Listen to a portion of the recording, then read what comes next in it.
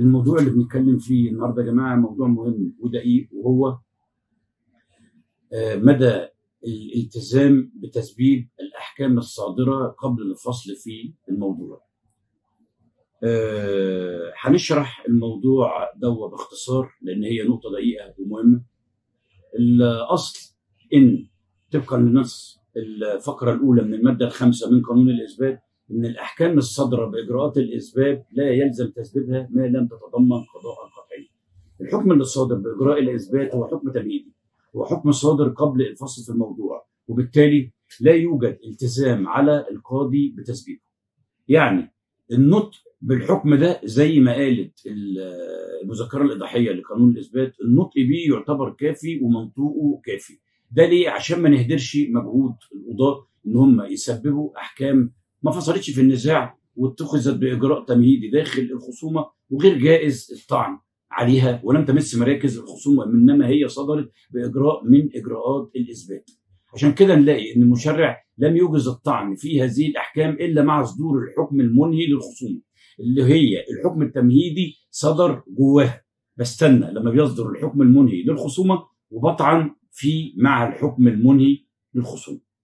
طيب هل الكلام ده على إطلاقه؟ لا، في استثنائين بناء عليهم يجب على المحكمة إن هي تكون ملزمة بالتسبيب حتى ولو كان الحكم اللي صدر دوه حكم تمهيدي وصدر قبل الفصل في الموضوع، وهم حالتين فيهم استثنائين اللي إحنا هنقولهم.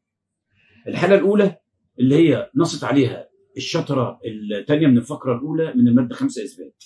قالت إيه؟ قالت إن الأحكام الصادره بإجراءات الإثبات لا يلزم تثبيتها تسبيبها ما لم تتضمن قضاء قطعيا. يبقى مفهوم المخالفة. لو الحكم اللي صادر بإجراء الإثبات قضى قضاء قطعي يبقى هنا يلزم تسبيبه. طيب إيه هو الحكم القطعي أو إيه هو القضاء القطعي؟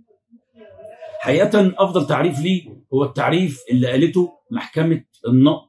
قالت الحكم القطعي هو ذلك الذي يضع حدا للنزاع في جملته يعني كله أو في جزء منه أو في مسألة متفرعة عنه بفصل حاسم لا رجوع فيه من جانب المحكمة التي أصدرته. الطعن رقم 300 لسنة 36 قاف جلسة 9 3 سنة 71 مجموعة المكتب الفني 22 سنة 22 الجزء الأول القاعدة 42 صفحة 262 يبقى المحكمة وهي بتصدر حكم تمهيدي أو حكم بإجراء من إجراءات الاثبات ما تعتبرش إن هي فصلت في مسألة من مسائل الدعوة أو فصلت في جزء منها. لكن لو صادف إن الحكم كان مزدوج في شق منه. آه قطعي يعني فصل في جزء من النزاع وحسمه وفي شق منه آه ندب خبير أو قرر استجواب أو أحال للتحقيق. يبقى الشق اللي هو قطعي وفصل في النزاع تلتزم المحكمة بتسبيبه طبقا لنص المادة دي. آه أحكام محكمة النقض فيها أمثلة كتير. يعني ممكن إن في حكم صدر في حكم من الاحكام اللي ورد على محكمة النقض حكم العامل بحقيته في إعانة غلاء المعيشة. وقضى ثانيا بندب خبير لبيان الإعانة دي قد إيه ويحتسبها له ويشوف قيمتها قد إيه. يبقى الحكم اللي صادر في شقه الأخير بندب خبير لا يلزم تسبيبه. لكن الحكم اللي صدر في شقه الأول وقضى بالأحقية فيها يعتبر إن هو يلزم تسبيبه لأنه حكم قطعي. فضى قضى في مسألة قضى بالأحقية. وممكن برضه حكم يصدر بالاحقيه في المعاش وندب خبير لبيان المعاش ده قيمته قد إيه وتاريخ استحقاقه قد إيه ومتجمد قد إيه. الشق الأول يلزم تسبيبه لكن الشق الثاني لا يلزم تسبيبه. الحالة الثانية اللي هي آه نصت عليها المادة التاسعة من قانون الإثبات. قالت إيه؟ للمحكمة أن تعدل عما أمرت به من إجراءات الإثبات بشرط أن تبين أسباب العدول بالمحضر. ويجوز لها أن لا تأخذ بنتيجة الإجراء بشرط أن تبين سبب ذلك في حكمها. هنا يا جماعة المادة التاسعة بتقول إن بتقرر القاعدة العامة إن الأحكام الصادرة بإجراء من إجراءات الإثبات غير ملزمة للمحكمة والمحكمة لها أنها تعدل عنها. ولو المحكمة حكمت بإجراء إثبات ونفذته وسمعت شهود مثلا أو ندبت خبير ليس الزاما عليها إن هي تأخذ بنتيجة الإجراء اللي هي حكمت بيه وتم تنفيذه فعلا. لا ليها إن هي تعدل عنها لأن ده حكم بإجراء من إجراءات الإثبات حكم تمهيدي غير ملزم للمحكمة. يعني ما تقدرش ترد القاضي بناء عليه لأنه ما بيشفش بناء على اتجاهه في في موضوع الدعوة. وغير ملزم للمحكمة نفسها آه، إن هي تحكم في الموضوع وتفصل في النزاع على مقتضى الحكم التمهيدي اللي هي سبق إن هي أصدرته. لكن إذا المحكمة عدلت عن اجراء من إجراءات الإثبات هي أمرت بيه فعلا يعني أنت طلبت أو المحكمة الانتقاليه نفسها أمرت باجراء من إجراءات الإثبات وبعد ما أمرت بيه عدلت عنه. لازم إن هي تبين أسباب العدول في المحضر. ده التزام عليها. ممكن هي ما تبينش لكن يلزم في حكم العدول إن هي تذكر.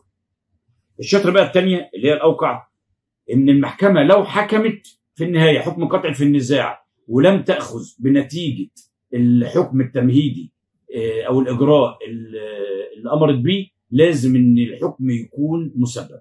يبقى هنا ال- المحكمة رغم إن هي ما خدتش نتيجة الإجراء في حالة رفضها ليه لازم إن هي توضح في أسبابها ليه هي عملت كده. من سلطه القضاء التقديرية إنه يؤمر بالإجراء ويعدل عنه أو يؤمر بالإجراء وما ياخدش بنتيجته. لكن لازم يوضح في أسبابه إيه هي ال ال ال الأسباب اللي خلته عدل عن ان هو آه، ما ياخدش بنتيجه إجراء هو نفسه اللي قام بيه. في تطبيقات لأحكام محكمة النقض قالت الأحكام الصادرة باتخاذ إجراءات الإثبات لا حجية لها طالما إنها لم تتعرض في أسبابها للفصل في موضوع الدعوة أو جزء منه. نقض 10 3 سنة 80 الطعن رقم 190 لسنة 47 قاف. في حكم ثاني كان الخصم حاول إنه يطعن في حكم آه، صدر من المحكمة آه، وما قالش الأسباب بتاعته إيه؟ المحكمة قالت ده حكم تمهيدي وبالتالي بدام مش قطعي ما خططش في النزاع فالمحكمة اللي أصدرته آه، غير ملزمة بتثبيته الطعن قال لا مجال للطعن على حكم المحكمة بسبب نقص أسبابها أو قصورها في تحديد طبيعة النزاع ما دامت لم تتضمن قضاء قطعيا في هذا النزاع. نقطة 28 2 سنة 80 الطعن 48 لسنة 27 دي احكام آلة التطبيقات اللي إحنا قلناها. أهمية الحالة الحالتين اللي إحنا شرحناهم الاستثنائيين اللي بناء عليهم المحكمة بتكون ملزمة بالتسبيب إيه هي؟ إن المحكمة لو خلفت الاستثنائيين دول وصدر حكم منهي للخصومة وأنت بتطعن فيه لازم تشير وتستند إن في بطلان في الحكم وفي خطأ مشوبه يجز إن أنا أطعن فيه إن المحكمة في الشق التمهيدي اللي هي حكمت فيه رغم إن أنا ما كانش يحق لي إن أنا أطعن فيه مباشرة آه، لأنه حكم صادر قبل الفصل في الموضوع ولم ينهي النزاع. لكن وأنا بطعن في الحكم المنهي لازم أشير إن المحكمة أخطأت يعني بطعن في الحكم بتاعها الخطأ اللي هو آه، التمهيدي لأنه لم يسبب. بستنى على الخطأ اللي فيه وبطعن فيه مع الحكم المنهي للنزاع. ودي نقطة مهمة لازم إن إحنا ننتبه لها وحبينا إن إحنا نلفت النظر فيها. رب نكون نجحنا إن إحنا نوضح النقطة دي وكل عام وأنتم جميعا بخير.